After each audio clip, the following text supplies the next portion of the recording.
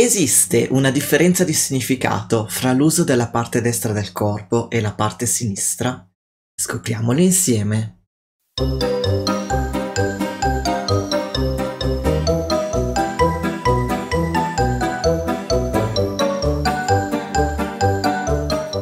Sono Maddalena e tu sei su Adamas Carisma per tutti, il canale giusto per imparare ad ottenere tutto ciò che vuoi. Iscriviti subito al mio canale e clicca sulla campanellina per non perdere i miei video che pubblicherò ogni lunedì e venerdì alle 13.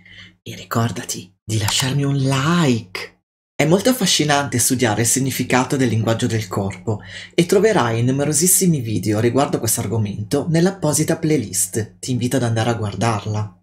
Potremmo però fare una macro distinzione di significati fra l'uso della parte destra e della parte sinistra dando così sfumature interpretative differenti ad ogni singolo gesto. L'emisfero sinistro del nostro cervello comanda la parte destra del nostro corpo e l'emisfero destro comanda la parte sinistra del nostro corpo. Una persona destrorsa ha quindi come emisfero dominante quello sinistro, mentre una mancina ha quello destro.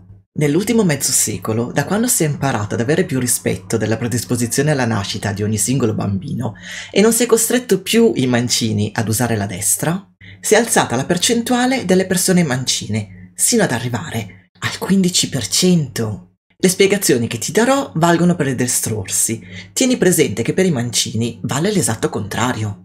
I due emisferi hanno funzioni molto differenti e semplificando si potrebbe affermare che l'emisfero sinistro è quello in cui hanno sede l'intelletto e la logica, la razionalità ed i centri del linguaggio, mentre l'emisfero destro si dedica ai sentimenti, alle emozioni, è la sede della creatività ed è la capacità empatica. Osservando i gesti ed i movimenti del corpo di un individuo si possono cogliere le sue predisposizioni, che possono essere orientate più alla logica o più all'emotività. Ad esempio, quando conversiamo in piedi con qualcuno, sia noi che il nostro interlocutore tendiamo a scaricare tutto il peso del corpo su una sola gamba, sbilanciandoci. Senza accorgerci, accentriamo il peso sul piede destro quando stiamo privilegiando un pensiero logico ed un agire razionale, mentre ci appoggiamo sulla parte sinistra quando stiamo seguendo la parte emotiva, intuitiva e creativa.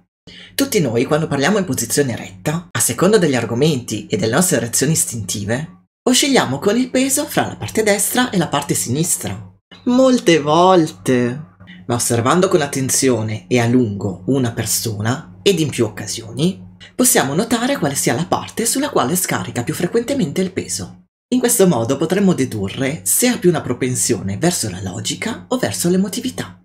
È un qualcosa di innato. Un genitore, ad esempio, già in età prescolare potrebbe scoprire se il proprio figlio ha più una predisposizione verso la logica o verso la creatività. La stessa cosa vale per la gestualità.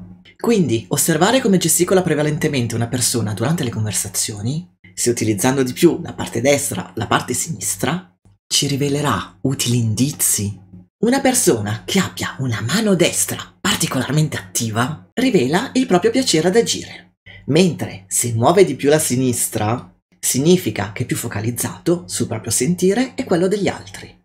Queste informazioni potrebbero rivelarsi particolarmente utili, ad esempio, durante la selezione del personale. Esistono professioni più mirate alla tecnica ed alla logica, altre più alla creatività. Dunque, osservando il modo di muoversi, si riuscirà ad individuare meglio i lavoratori più adatti a ricoprire certi ruoli, perché hanno innate certe predisposizioni, al di là delle loro competenze specifiche. Una curiosità! Esiste un semplicissimo test da fare per scoprire quale predisposizione innata abbia una persona. Congiungere le mani ed incrociare le dita in questo modo. Controlla quale dei pollici sia dominante quindi quale si trova più in alto rispetto all'altro. Se il destro si ha una maggiore predisposizione alla logica ed alla razionalità. Se il sinistro alla creatività e all'intuizione. Ricorda che come ti ho spiegato all'inizio, per i mancini vale l'esatto contrario. Ora puoi divertirti a proporre il test ai tuoi amici e scoprire qualcosa di loro.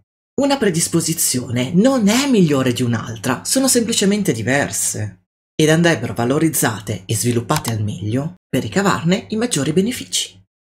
Adamas diventa come un diamante, brillante, prezioso ed invincibile.